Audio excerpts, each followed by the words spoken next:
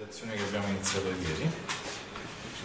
dove secondo me eravamo arrivati a sufficiente a richiamare i triangoli di velocità. Eh, abbiamo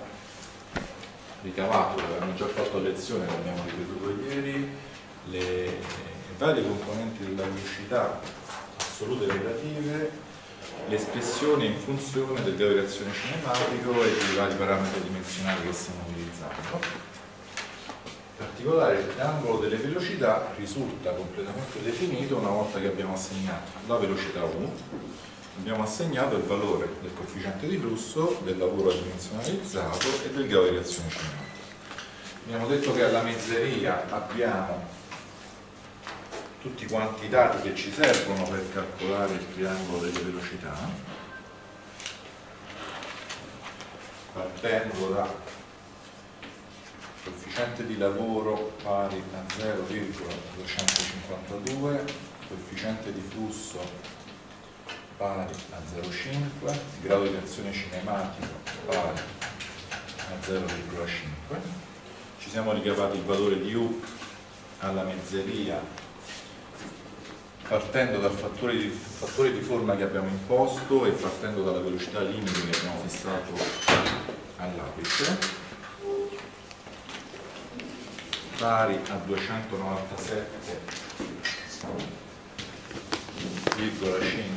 metri al secondo per cui in realtà possiamo immaginare tutte quante le espressioni che abbiamo scritto ieri ad esempio, giusto per richiamarne una la C1U funzione pari a 1 meno r meno si mezzi. 1 sostituiamo i nostri dati e otteniamo eh, 111,3 metri al secondo io aggiungo qui un pedice m a indicare appunto che questi sono i valori che stiamo calcolando alla mizzeria della palla. non ripeto le espressioni che avete scritto, vi do direttamente, che avete già scritto ieri, vi do direttamente i valori. La C2U, la componente periferica all'uscita della nostra schiera rotorica della velocità assoluta pari a 186,2 metri al secondo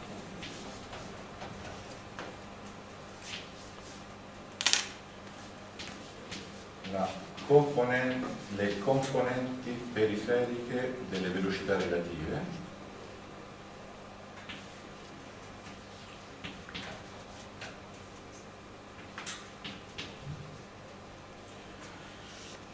La W1U è 186,2 metri al secondo, la W2 alla mezzeria è 111,3 metri al secondo.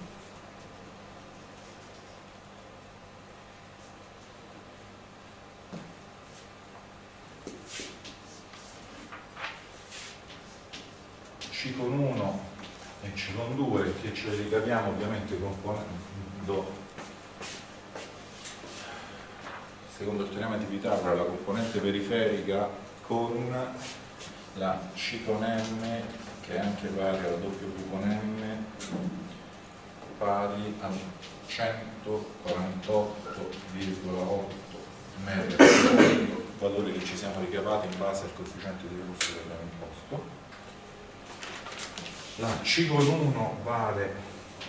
185 0,8 metri al secondo ma C con 2 stiamo parlando di una, dello stadio di una macchina operatrice attraverso la schiera rotorica la velocità assoluta aumenta quindi 238,3 metri al secondo. Facciamo lo stesso calcoliamo il modulo delle velocità relative quindi componente periferica più componente meridiana W1U 238,8 metri al secondo, W2U W2 scusatemi 185,8 metri al secondo. Direzione cinematico 0,5 come potete vedere i triangoli delle velocità che si formano sono isosceli la C con 1 è pari alla W con 2 la W con 1 è pari alla C con 2 e le varie componenti anche sono valute possiamo calcolarci.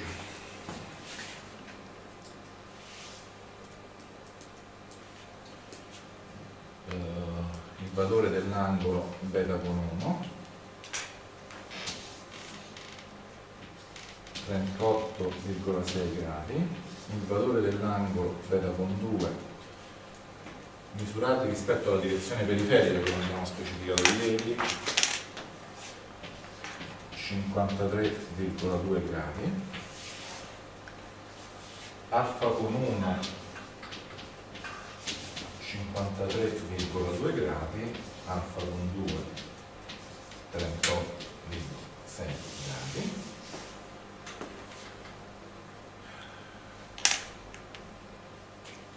possiamo calcolarci la deviazione della schiera rotorica pari a beta 2 meno beta 1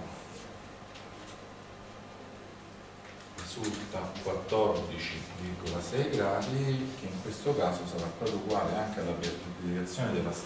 della schiera statorica alfa con 3 meno alfa con 2 ricordiamoci che stiamo facendo degli stati ripetuti alfa con 3 è proprio pari ad alfa con 1 e risulta la direzione della schiera statorica ancora 14,6 gradi. In ultimo ci servirà più avanti.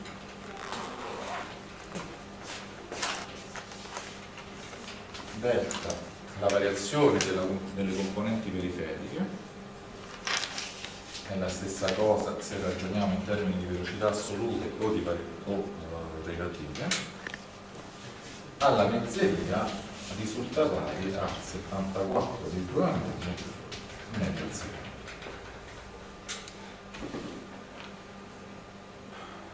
Ora, le relazioni parametriche che ci siamo ricavati ieri ovviamente valgono alla mezzeria come valgono all'apice come valgono al mozzo, alla base della parte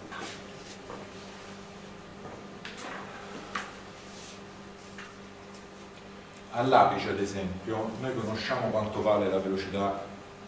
U di trascinamento, l'abbiamo proprio imposta noi in realtà, cioè ci siamo messi a quelli pari al valore limite sopportabile, sappiamo quanto vale il coefficiente di lavoro, non sappiamo quanto vale il coefficiente R, il grado di reazione cinematica, perché noi abbiamo imposto un grado di reazione cinematico alla mezzeria, stiamo svergolando a vortice libero, Sappiamo quindi che questo grado di reazione cambierà lungo l'altezza della palla. Sarà più piccolo alla base, tenderà a crescere man mano che ci spostiamo verso l'apice. Quindi prima di risolvere i triangoli delle velocità alla base e all'apice dobbiamo ricavarci il valore del grado di direzione cinematico al diametro interno e al diametro esterno, secondo la convenzione che abbiamo adottato ieri. Come facciamo? Beh, stiamo svergolando a vortice libero, quindi in generale la componente periferica della velocità a bordo 1 deve essere pari a una certa costante K1 fratto R il raggio alla sezione a cui stiamo valutando appunto la C1. Quindi possiamo scrivere che la C1U alla mezzeria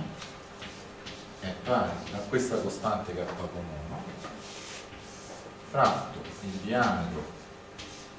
alla mezzeria diviso 2 e allo stesso tempo ad esempio la componente periferica della velocità al diametro esterno deve essere ancora pari alla stessa costante k con 1 fratto il diametro esterno diviso 2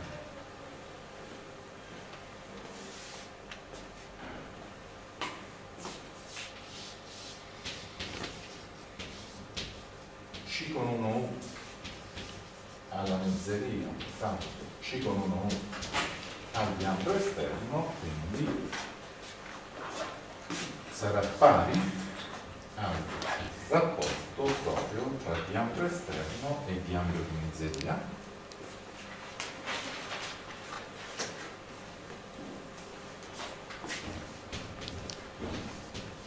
C con 1 la componente periferica della C con 1 a diametro esterno, quindi è pari alla componente periferica della C con 1 alla mezzeria per il rapporto di n su di con E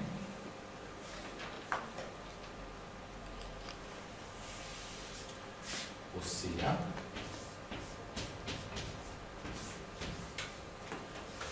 parametro di forma K che abbiamo introdotto ieri, pari, vi ricordate, diametro interno su diametro esterno, abbiamo perso qualche minuto a rilevarci tutti i vari rapporti tra i diametri in funzione di quello. Per C1M ci ricaviamo il valore della componente periferica della C con 1 all'apice della para viene 94,6 al secondo lo stesso possiamo fare per la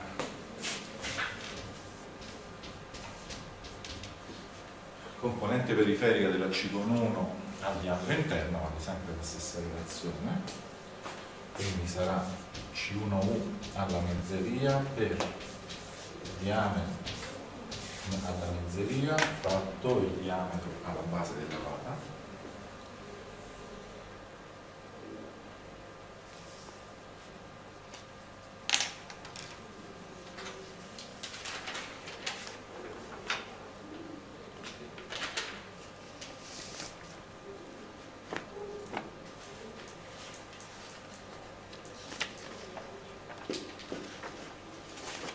quindi ci siamo ricavati che il rapporto tra questi due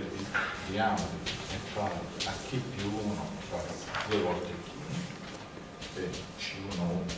alla mezzeria pari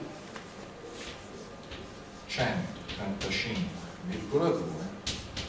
metri al secondo.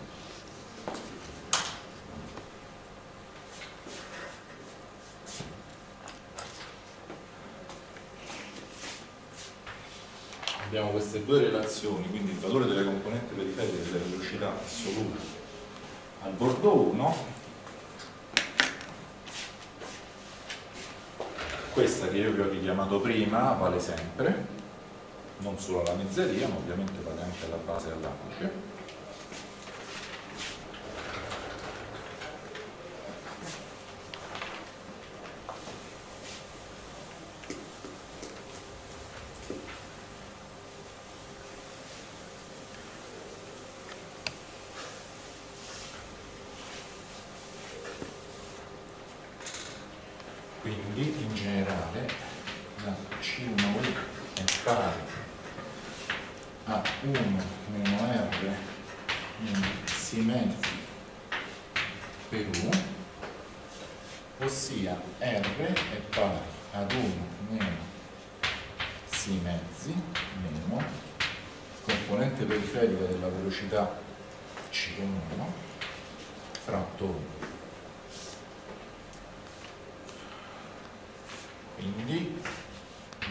all'apice. cinematico all'apice 1 meno coefficiente di lavoro all'apice, ce lo siamo già calcolato ieri, meno componente periferica della velocità C1 all'apice fratto velocità di trascinamento all'apice. Lo stesso grado di reazione cinematico alla base 1 meno coefficiente di lavoro alla base meno componente periferica della velocità C1 alla base della data fratto velocità di trascinamento alla base della data.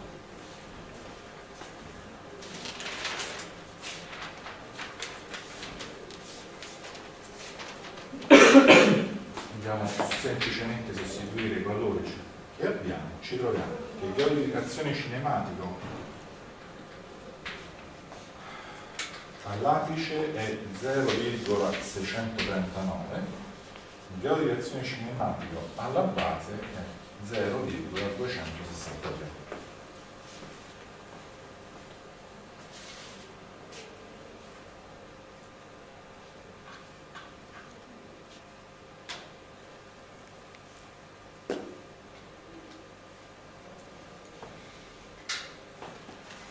Questo punto possiamo risolvere i triangoli delle velocità anche al piano esterno e al piano interno.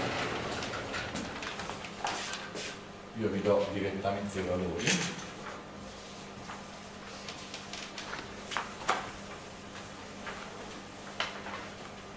Cominciamo con il diametro esterno,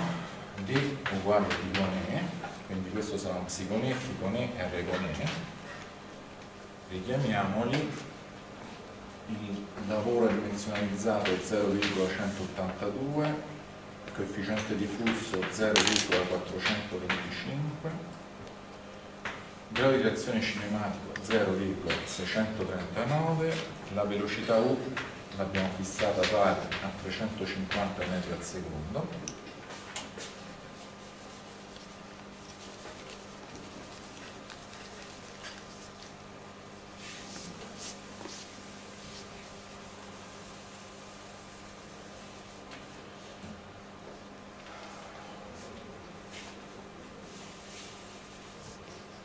componente periferica ce la siamo già ricavata in realtà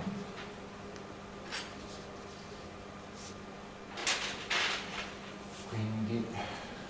94,6 metri al secondo per quanto riguarda la C2U 158,2 metri al secondo le componenti periferiche della W sono la W1 255,4 metri al secondo, la W2U 191,8 metri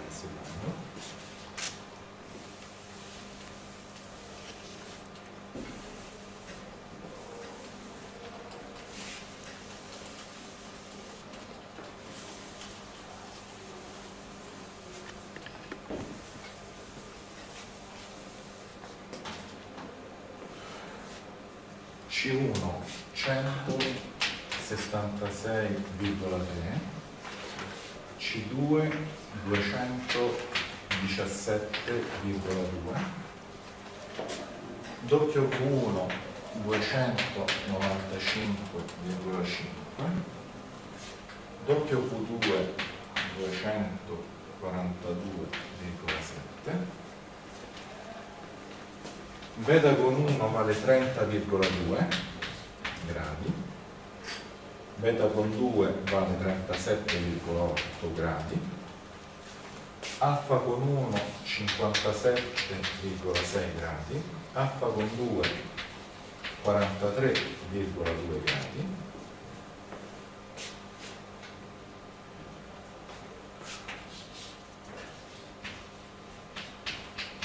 epsilon rot la deflessione che il fluido subisce attraversando il condotto rotorico quindi sempre beta 2 meno beta 1 vale 7,6 gradi.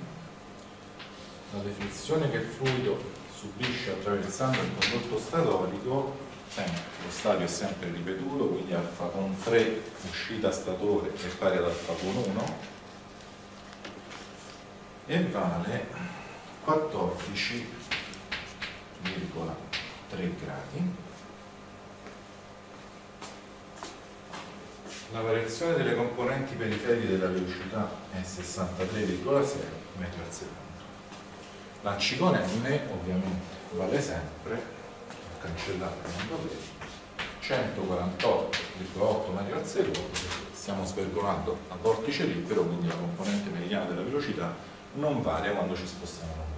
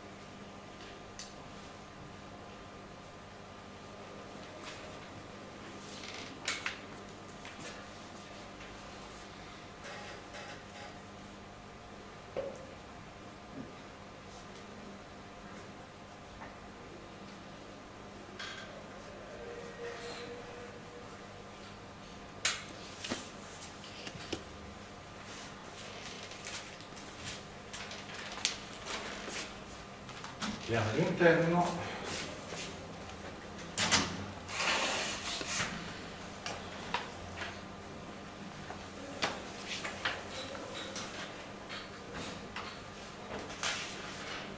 di uguale di con i quindi coefficiente di lavoro 0,371 coefficiente di flusso 0,607 grado di reazione cinematico 0,263 U con I è pari a 245 metri al secondo quindi un po' di pazienza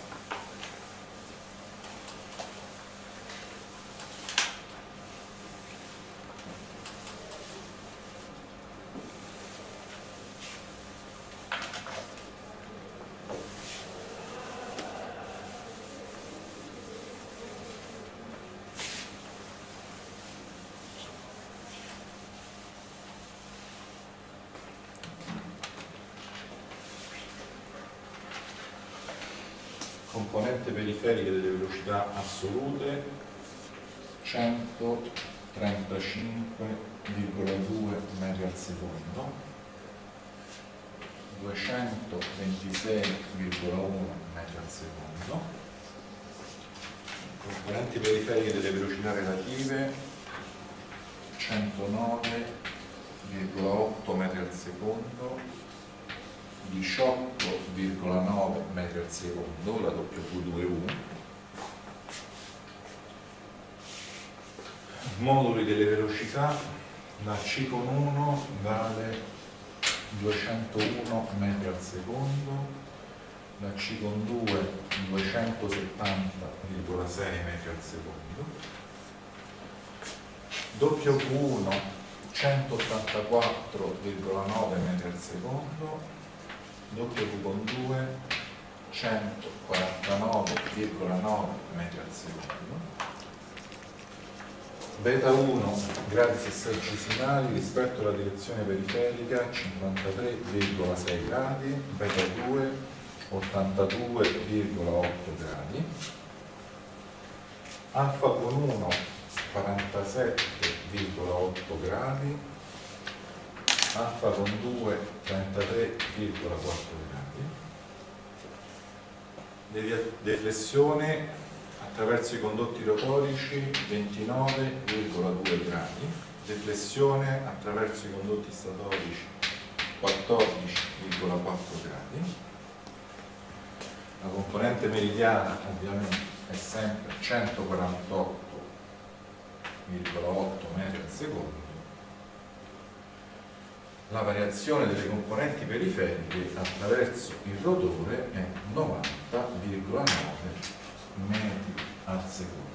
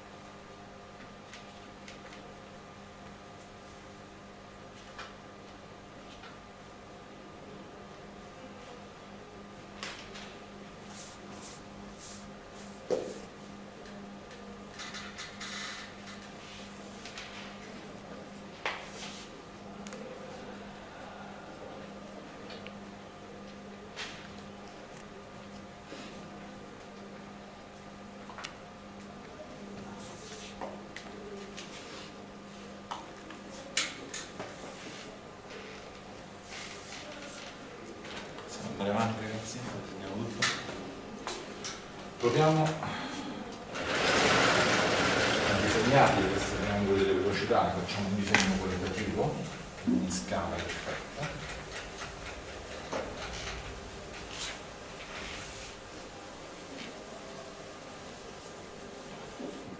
li rappresentiamo in forma polare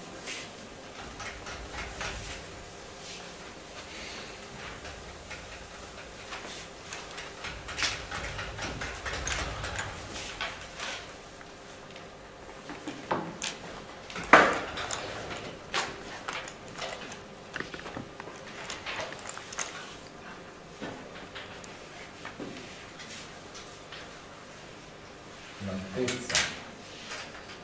è data dal valore di C con M sia questo il polo O partiamo da quello di mezzeria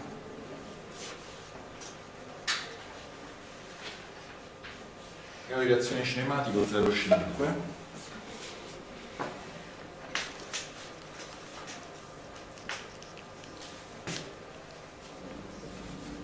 Quindi il triangolo delle velocità all'infinito sarà un triangolo isoscele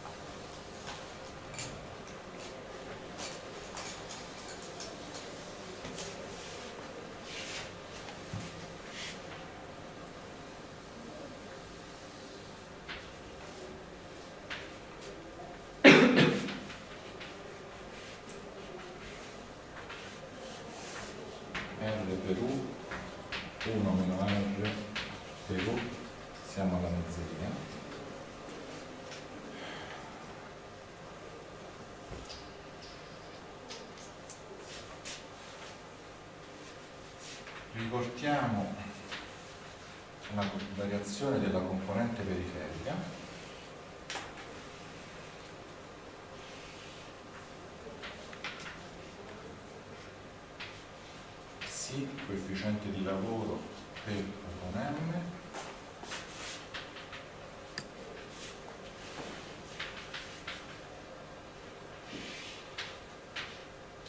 coefficiente di lavoro per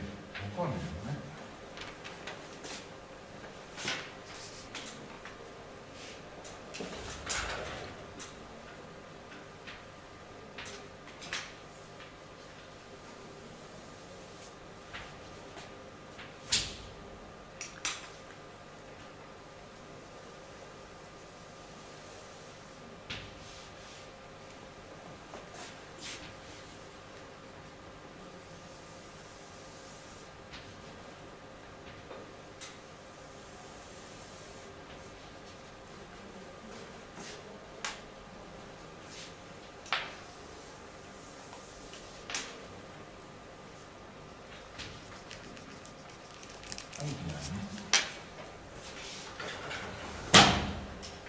le nostre velocità. Questa è la W infinito W1 W2 C con 1 C con 2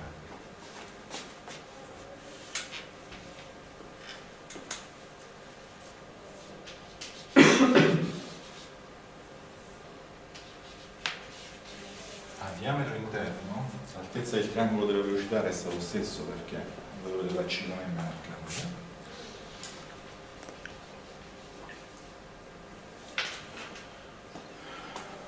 Il diametro alla mezzeria R è 0,5 quindi è proprio uguale a 1 meno R questo triangolo viene isoscile al diametro interno R è più piccolo di 0,5 tra l'altro anche la U sarà più piccola rispetto a quella che abbiamo in teoria, il triangolo delle velocità all'infinito è scaleno.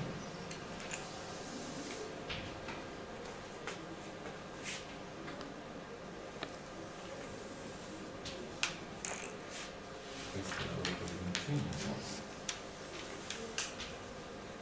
Questa è la U con I, questa è la C infinito.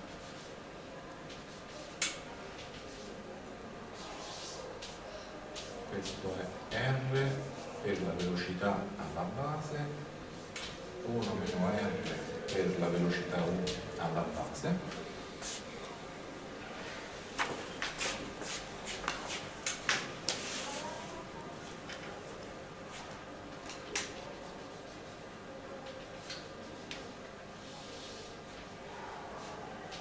Delta C con U alla base uguale sempre a psi per U con I è più grande di quella che avevamo alla mezzeria, se andiamo a controllare i nostri conti.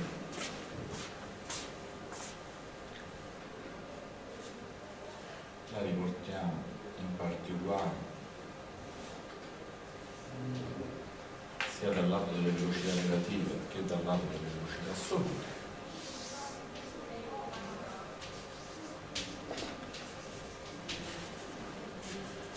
otteniamo quindi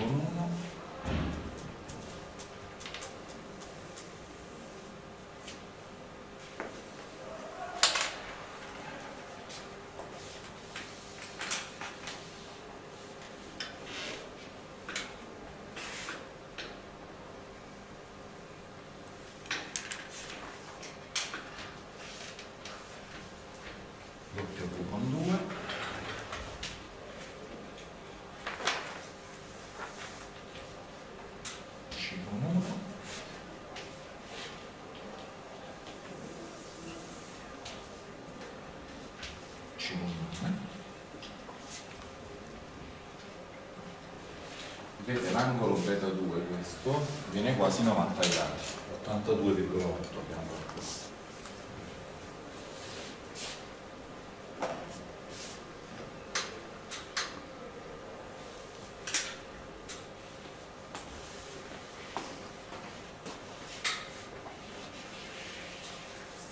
discorso all'apice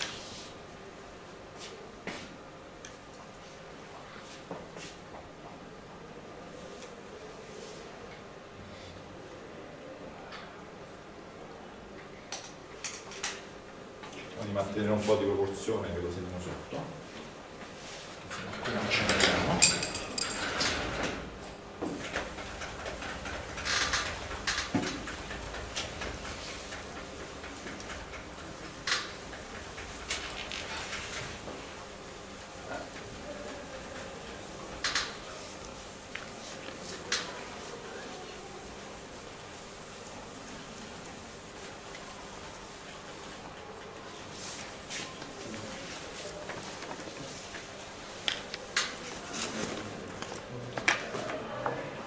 triangolo delle velocità.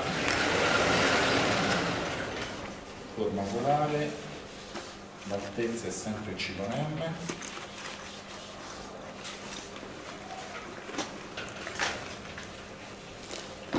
La U ovviamente all'apice è più grande della U che avevamo in mezzeria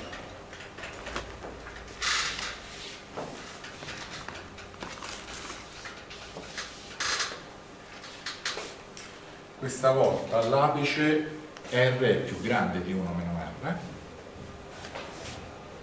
quindi facciamo un dove si partiamo da qui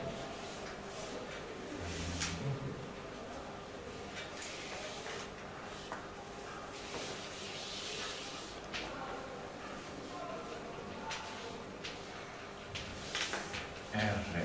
per U all'apice 1 meno R per U all'apice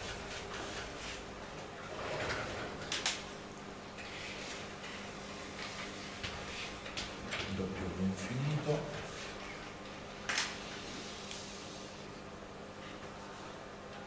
C infinito questa è la nostra U all'apice riportiamo come al solito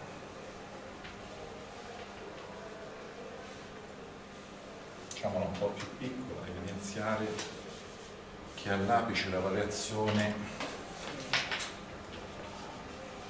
delle componenti periferiche è minore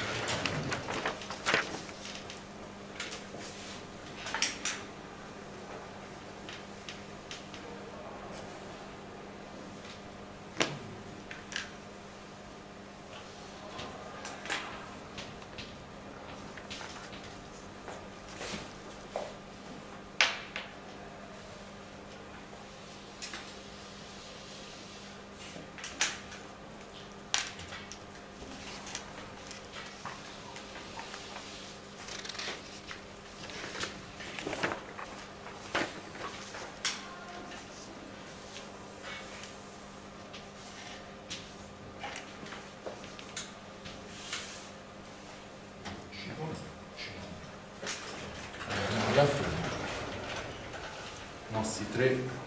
triangoli delle velocità rappresentati in forma polare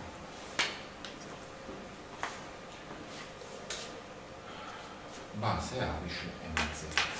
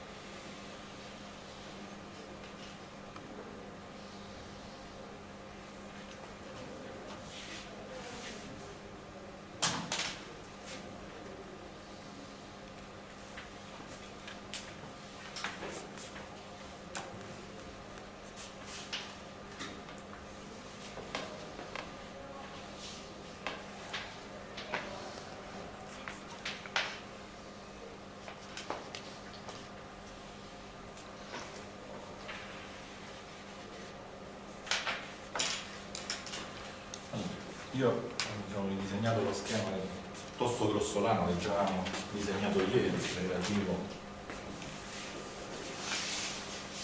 alla sezione meridiana, tutti gli avvisi che già abbiamo, avvertenze che già abbiamo dato ieri sulle semplificazioni che stiamo facendo.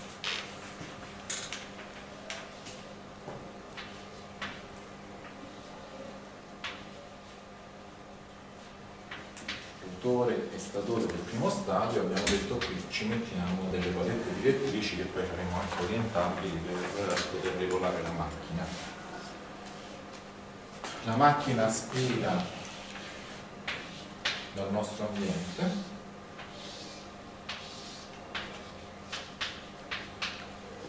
Il fluido parte fermo dalle condizioni ambiente quindi P con A, T con A attraversa la rettatura direttrice, raggiunge le condizioni termodinamiche previste al punto 1 che in realtà a questo punto siamo in grado di calcolarci. Facciamo una serie di un'ipotesi che in realtà è proprio semplificativa per eh, limitare un pochino i conti che stiamo facendo in questa esercitazione. Assumiamo che in questa prima parte del tragitto del flusso bocca di aspirazione, palette direttrici, non ci siano degradazioni di energia. Quindi il flusso, non avendo tempo di scambiare calore, subirà nel passaggio dalle condizioni dell'ambiente a quelle di ingresso al rotore del primo stadio una trasformazione isentropica. In realtà ci vuole molto poco a considerare quelle che sono le perdite che si possono avere durante questo tragitto per il momento le semplifichiamo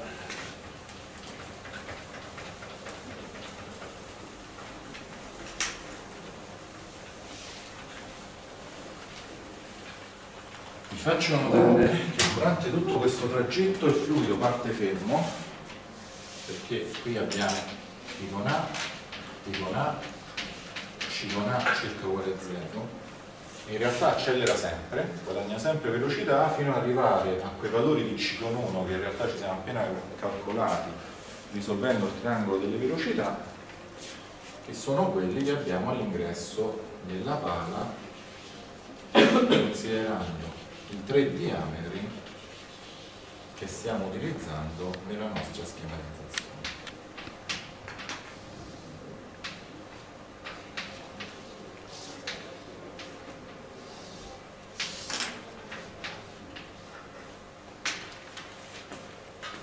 Ora,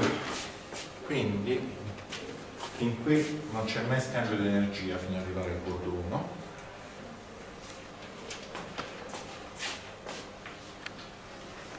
l'entalpia di ristagno al bordo 1 è pari all'entalpia di ristagno al bordo 0 è pari all'entalpia di ristagno relativa alle condizioni ambiente ossia banalmente H con A visto che nell'ambiente il fluido è fermo. Quindi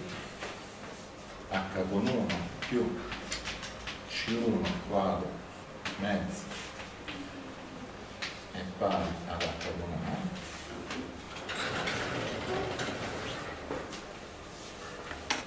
CP per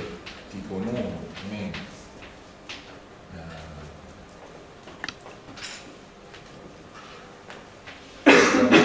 più C1 quadro mezzo è uguale a 0 T con 1 è pari a T con A meno C1 alla seconda fratto 2 C2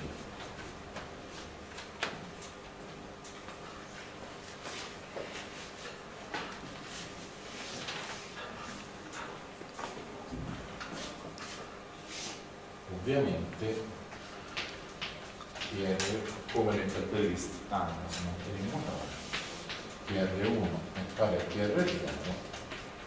è pari a T con la temperatura di ristagno è sempre pari alla temperatura dell'ambiente da cui stiamo parlando ora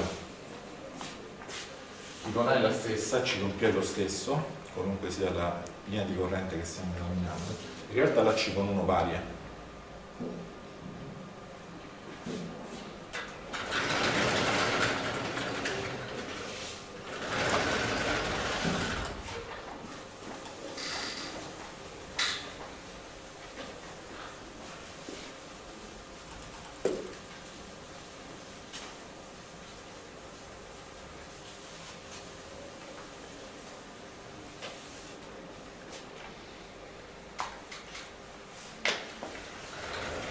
nel risolvere la termodinamica dello stadio dobbiamo tener conto che le condizioni termofluidodinamiche sono diverse alla base, all'apice e alla mezzeria. In realtà variano lungo l'altezza dell'acqua.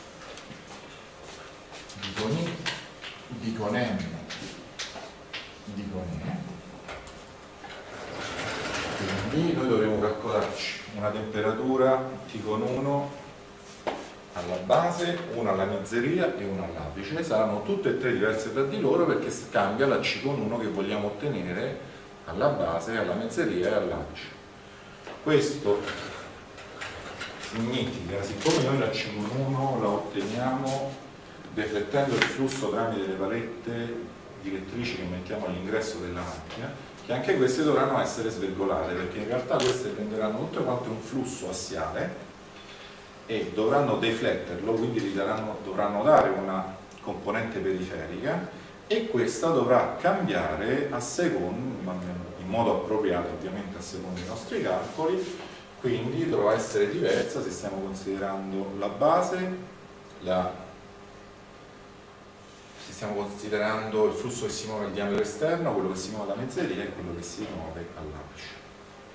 alla base della. Quindi banalmente andiamo a prendere i, i, valori di C con 1 che non è che ci siamo divertiti a scriverli perché non sappiamo che fare perché ci servono adesso per fare questi calcoli termodinamici. T con A era 288 Kelvin andiamo a prendere i vari valori di C con 1 che risultano dai triangoli delle velocità. Otteniamo T con 1 in Kelvin 268 al diametro interno 271 alla mezzeria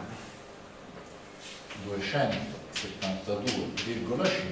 al diametro esterno. La C con 1 al diametro interno è più grande rispetto a quella della mezzeria e all'apice. Conseguentemente questa energia cinetica la otteniamo a spese dell'energia interna del fluido. Il valore della temperatura si abbassa abbiamo detto che durante tutto questo tragitto trascuriamo in queste esercitazioni le perdite che abbiamo bocca di aspirazione, filtro che sarà presente, le perdite che abbiamo nella penetratura direttrici. Quindi per noi quella è una trasformazione isentropica, tipo 1, sì, tipo A, tipo 1 su tipo A, elevato a K-1 su K. bordo 1 abbiamo una pressione P1 pari a P1 su P1 A elevato a K su K-1 per la pressione P1 A dell'ambiente da questa macchina. Quindi anche in questo caso in base ai valori del T con 1 che ci siamo appena calcolati, entriamo nella relazione degli isentropi e ci ricaviamo il valore della pressione statica.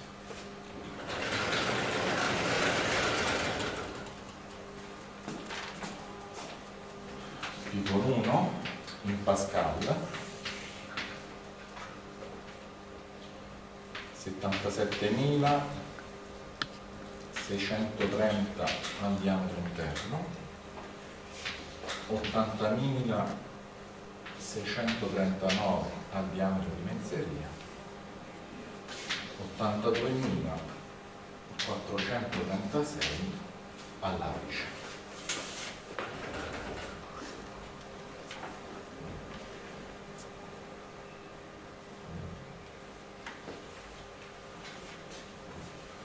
Possiamo calcolarci anche il volume specifico, la densità tramite la relazione di gas perfetto Ovviamente abbiamo già detto per quanto riguarda le grandezze di ristagno, in questo caso temperatura e pressione di ristagno espresse sempre in Kelvin e in Pascal restano proprio 288 per quanto riguarda la temperatura di ristagno restano proprio, avevamo assunto una pressione di pari a 100.000 Pascal se ricordo bene ieri, in base a questo per fatti conti, un valore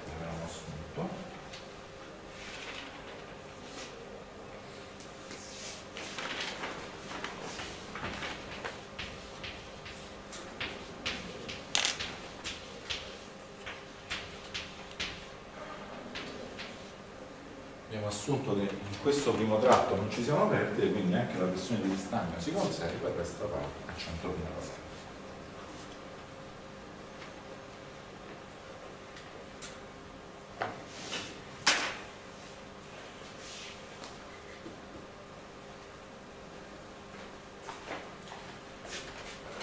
vi do, visto che ci siamo anche i valori del volume specifico, V con 1, banalmente P per V è per T, quindi V1 fa avere T1 su P con 1, sempre con la solita avvertenza che abbiamo tre stati termodinamici diversi da valutare. V con 1, volume specifico del fluido all'ingresso del rotore, 0,999 eh, scusate, 990 metri cubi a chilo. 0,964 metri cubi a chilo se ci riferiamo alla mezzeria 0,949 metri cubi a chilo se ci riferiamo al diametro esterno